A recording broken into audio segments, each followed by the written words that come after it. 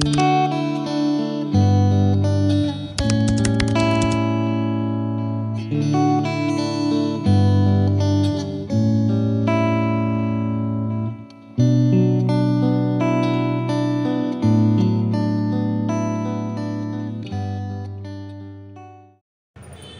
देखिए, ये आज हमने बनाई है पनीर हैदराबादी, एकदम रेस्टोरेंट स्टाइल तो एक बार घर पे बनाइए, इसको पराठे से, चपाती से, बहुत ही टेस्टी लगती है। तो चलिए बनाते हैं पनीर हैदराबादी। तो देखिए, हैदराबादी पनीर बनाने के लिए ये हमने कुछ मसाले लिए हैं। ये चार प्याज है, मीडियम साइज़ का, एक टमाटर है, लहसुन है, अदरक है और हरी मिर्ची है। और ये तेज पत्ता है, एक दालचीनी का टुकड़ा है, जीरा है, ये पनीर है 200 ग्राम। और यहाँ पे देखिए, ये पालक है और ये धनिया है। तो ये एक कटोरी पालक है और एक कटोरी से थोड़ा ज़्यादा धनिया है, इसको धुल के बारीक काट के लिया हुआ है। चलिए, अभी हम लोग मसाले की तैयारी करते हैं। तो देखिए, गैस पे एक कढ़ाई रखी हमने और इसमें तेल डाला है। तो देखते हैं, तेल अपना गर्म हो गया। देखिए, तेल गर्म हो गया है। अब इसी में हम लोग गर्म तेल में ही ये पनीर डाल के थोड़े बड़े बड़े टुकड़े काट के और थोड़ा सा फ्राई कर लेंगे।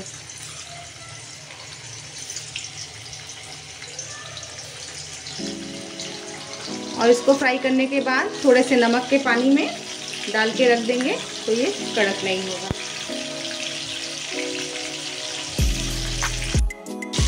तो देखिए, इसको ऐसे ही थोड़ा पलट के और अच्छे से थोड़ा गोल्डन कर लेंगे। बहुत ज़्यादा नहीं, कड़क करेंगे। अच्छे से इसको फ्राई कर लेंगे।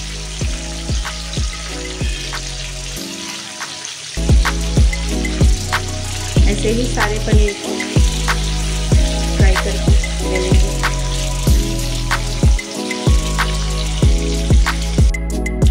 तो देखिए, ये फ्राई हो गया है। बस इसको हम लोग निकाल लेंगे और गैस का फ्लेम बंद कर देंगे। ऐसे ही सारे निकाल लेंगे।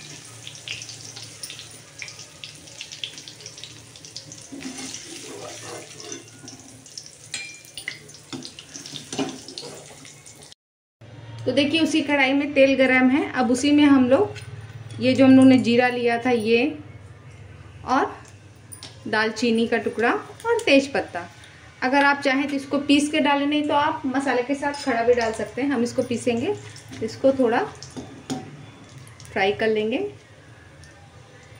जीरा हमारा तड़क जाए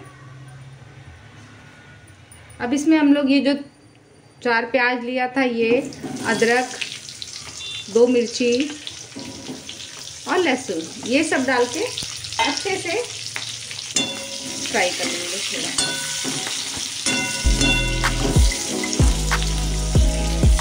इसको हमको पीसना है तो इसके लिए मोटे मोटे प्याज हमने काटे हैं। बस फ्राई कर लेंगे। तो देखिए, ये फ्राई हो गया। अब इसमें हम लोग जो एक टमाटर लिए थे, ये भी डाल देंगे। और इसको भी अच्छे से थोड़ा टमाटर गल जाए। इसी वक्त इसमें हम थोड़ा सा नमक डाल देंगे। आधा चम्मच जितना नमक डाल देंगे।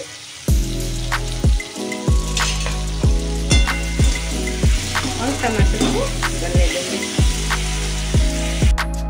तो देखिए, टमाटर भी हल्का गल गया है। अब इसमें जो हम लोग पालक काट के रखा था और धनिया ये भी डाल देंगे। अगर आप ऐसे फ्राई ना करना चाहें तो पालक को बॉईल करके और धनिया को डायरेक्टली भी पीस सकते हैं। पर ऐसे थोड़ा टेस्ट इसका बहुत अच्छा आएगा। तो बस ऐसे ही डाल के और चला के इसको भी अच्छे से थोड़ा गल जाने देंगे।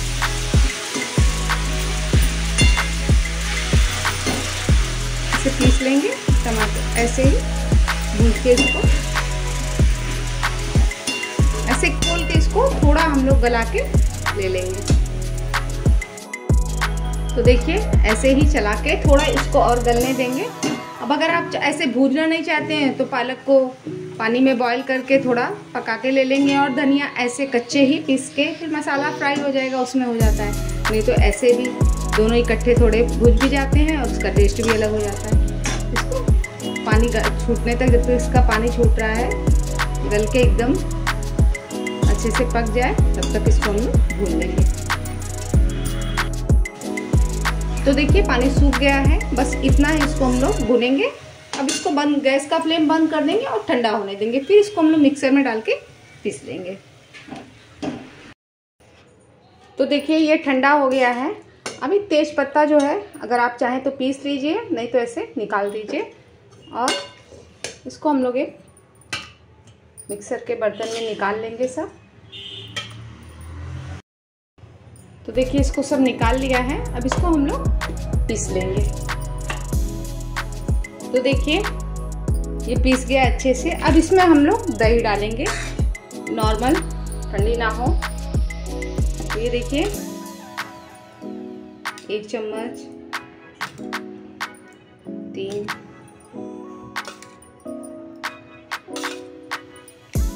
छः से सात चम्मच दही डाल देंगे।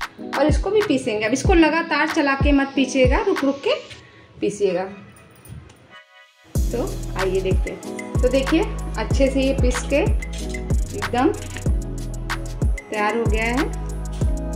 बस, ग्रेवी हमारी तैयार है, चलिए अब आगे भाजी बनाते हैं। तो देखिए, गैस पे कढ़ाई रखी थी हमने और उसमें तेल डाल दिया था। वो अच्छे से गर्म हो गया है। इसमें हम लोग थोड़ा जीरा डालेंगे। और ये तड़क जाएगा, फिर इसमें हम लोग अपना मसाला डालेंगे।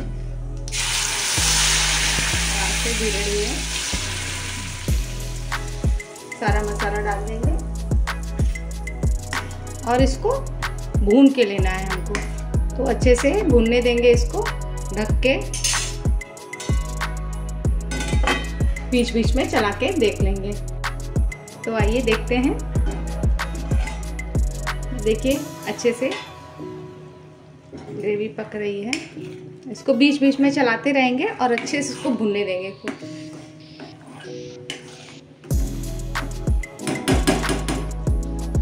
कलर एकदम अच्छा सा प्यारा सा आया है। बस दही जो डालिएगा वो खट्टी ना रहे, ताज़ी दही रहे। इसको ऐसे ही ढक के भुनने देंगे।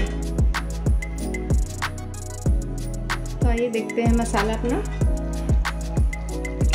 देखिए अच्छे से ये पक रहा है। अब इसमें हम लोग थोड़े सूखे मसाले डाल देंगे।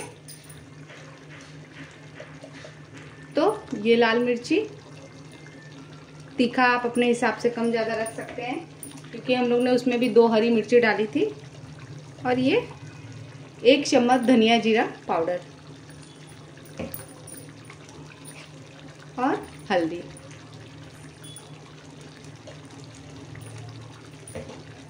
ये भी इसी के साथ अच्छे से भून जाएगा और हल्दी और मिर्ची से कलर और भी अच्छा हो जाएगा। तो बस ऐसे ही थोड़ा मसाला उड़ेगा तो ढककर ही भूजिए ढक दीजिए और भुनने दीजिए। तो आइए देखते हैं। तो देखिए, ग्रेवी हमारी तैयार है। अब इसमें हम लोग थोड़ा सा कसूरी मेथी ये भून के हमने हाथ से बारीक कर लिया था। इसका पाउडर डाल देंगे। और नमक हमने टेस्ट किया था, हमने मसाले में नमक डाला था तो हमारा नमक परफेक्ट है तो हम नमक नहीं डालेंगे। और ये पनीर जो हमने भून के गरम ऐसे डाल देंगे। ऐसे सारे पनीर डाल देंगे और इसको चला देंगे।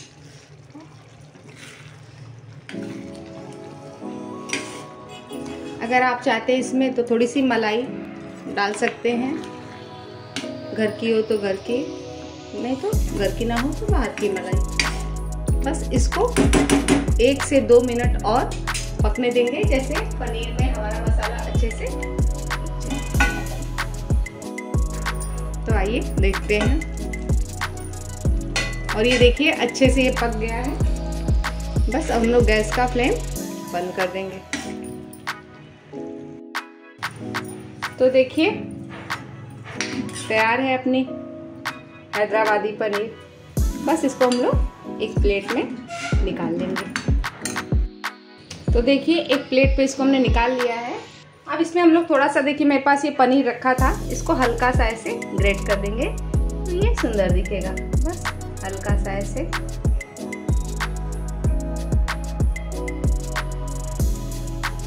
ऐसे ग्रेट कर देंगे। और ये देखिए, हमने थोड़े से तेल में ये लाल मिर्ची ऐसे चिली ऑयल तैयार किया था। इसको ऊपर से ऐसे हल्का सा डाल देंगे।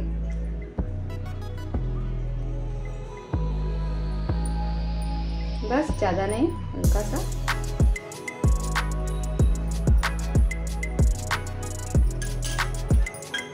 तो देखिए बन के तैयार है हमारी हैदराबादी, पनीर हैदराबादी। तो अगर पसंद आए तो कमेंट ज़रूर कीजिए और बताइए कि आपको ये रेसिपी कैसी लगी और बनाइए। बिल्कुल होटल के जैसे टेस्ट आता है और बहुत कम समय में बन जाता है। तो बनाइए और पसंद आए तो कमेंट कीजिए लाइक कीजिए शेयर कीजिए और सब्सक्राइब ज़रूर कीजिए। बेल बटन ज़रूर दबाइए और एक बार बना के टेस्ट ज़रूर कीजिए। Thank you